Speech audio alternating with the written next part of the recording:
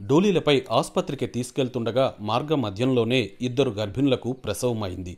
ఇద్దరు బిడ్డలు పుట్టిన వెంటనే ప్రాణాలు కోల్పోయారు.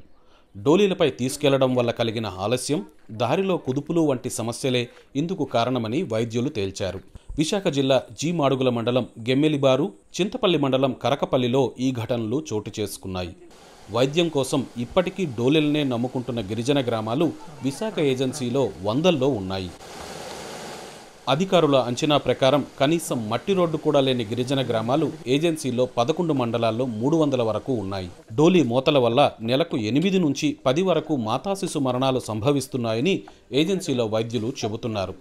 One naught four one naught eight వాహనాలకు అనువైన రోడ్లు లేకపోవటం వాగులపై వంతెనలు లేకపోవడంతో అత్యవసర పరిస్థితుల్లో ప్లాస్టిక్ కుర్చీలు దుప్పట్లు చీరలతో తయారు చేసిన డోలీలే వీరికి అంబులెన్సులుగా మారుతున్నాయి. పాడేరు చింతపల్లి అనంతగిరి ఇలా అన్ని మండలాల్లోనూ దూరంగా విసిరేసినట్లు ఉండే గిరిజన గ్రామాలు అనేకం ఉంటాయి.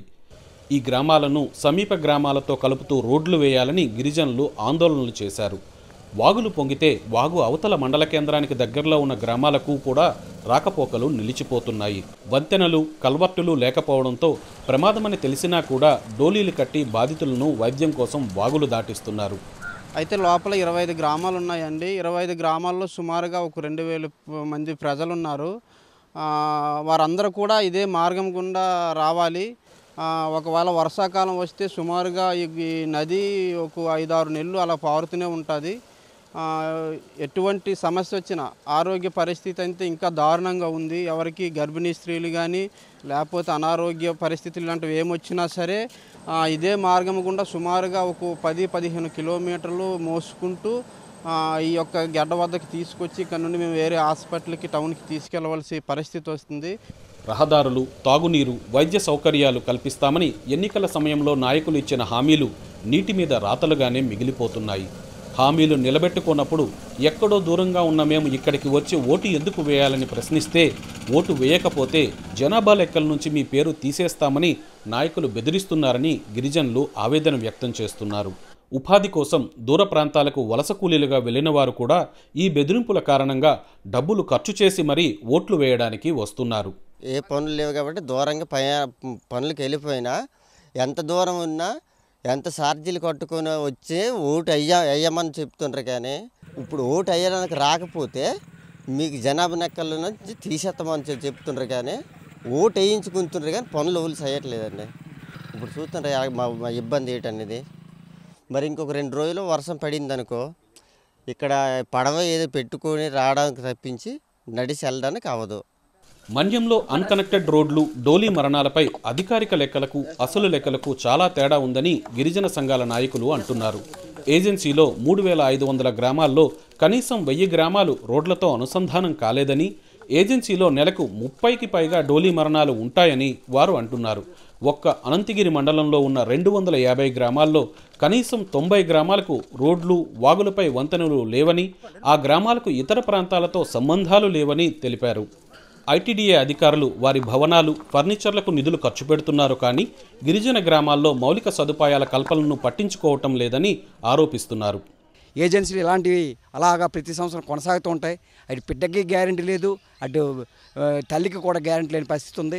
ఇటువంటి పరిస్థితుల్లో ఏజెన్సీలో పదిహేను వందల గ్రామాల్లో పీటీజీ ఆదివాసీ గ్రామాల్లో నేటికి కూడా డోలుమూతలు కొండల మధ్యలోని రెప్పరాళ్ళ మధ్యలోనే మరణాలు కొనసాగుతున్నాయి. ఈ ప్రభుత్వ రికార్డులు కూడా నమోదు కావడం లేని పరిస్థితి ఉంది. అనే పుట్టినా చచ్చినా సరే రికార్డులను మొన్న చేయని పరిస్థితి ఉంది. ప్రభుత్వం అధికారులు ఇప్పటికైనా సరే మారుమూల గ్రామాల్లో ఉన్నటువంటి ఒక ప్రణాళికబద్ధంగా రోడ్లు అయ్యాయని చేస్తే ఇటువంటి వాటి గ్యారంటీ అవ్వడానికి అవకాశం ఉంటుంది తప్ప అంతవరకు ఈ మరణాలు అనేవి ఆపడానికి ఆస్కారం లేదు. మన్యంలో తరచూ డోలీ మోతలు మాతాశిశు మరణాలు నమోదవుతుండడంపై ఐటీడీఏ పీఓ వివరణ కోరింది బీబీసీ తెలుగు. ఇటీవల ఇద్దరు చిన్నారులు చనిపోయిన విషయాన్ని ప్రస్తావించింది. విశాఖ ఏజెన్సీలో కొన్ని గ్రామాలకు ఇంకా మౌలిక సదుపాయాల కొరత ఉందని వాటిపై దృష్టి పెట్టామని పీఓ రోనంకి గోపాలకృష్ణ తెలిపారు. డోలి మరణాలు లేకుండా చేసేందుకు ఫీడర్ అంబులెన్సులు అంటే టూ వీలర్ అంబులెన్సులు అందుబాటులో ఉంచామని చెప్పారు. బర్త్ వెయిటింగ్ సెంటర్లు కూడా ఏర్పాటు చేస్తున్నామని తెలిపారు. నెక్స్ట్ ఎక్కడైతే అన్కనెక్టెడ్ విలేజెస్ దాదాపు మనకి ఇంకొక three hundred villages unconnected villages ఉన్నాయి హిల్ టాప్ ఏరియాస్ విలేజెస్ అవన్నీ.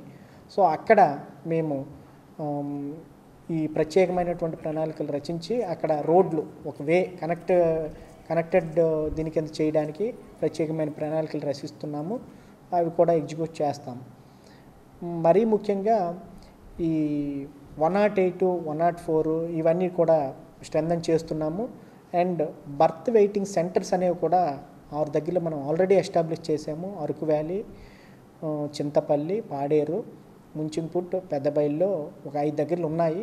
ఆ బర్త్ వెయిటింగ్ సెంటర్స్ వాటితో పాటు ప్రతి పిహెచ్సిలో కూడా బర్త్ వెయిటింగ్ సెంటర్స్ ఉన్నాయి. మనం మొత్తం ముప్పై ఆరు పిహెచ్సిలో మినిమం వన్ వీక్ ముందు ఆ ఎగ్జాక్ట్ డేట్ ఆఫ్ డెలివరీకి వన్ వీక్ ముందు గుర్తించి ప్రజల్లో అవేర్నెస్ కల్పించి అక్కడ నుంచి వాళ్ళని బర్త్ వెయిటింగ్ సెంటర్స్కి షిఫ్ట్ చేసి అక్కడ ఇన్స్టిట్యూషనల్ డెలివరీ డెలివరీస్ జరిగేటట్టు కూడా చేస్తున్నాం. ఆల్రెడీ అది ఎగ్జిస్టింగ్ ఉంది. ఇంకా దాన్ని మోర్ స్ట్రెంగ్ చేస్తున్నాము.